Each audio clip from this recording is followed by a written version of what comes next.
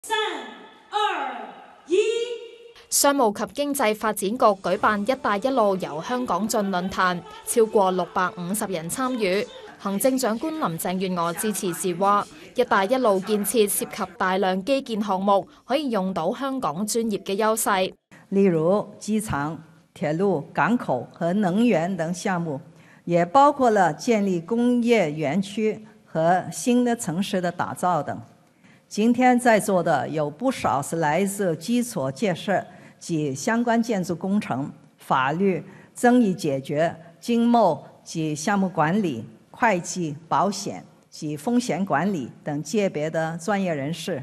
也有创科及年轻的企业家。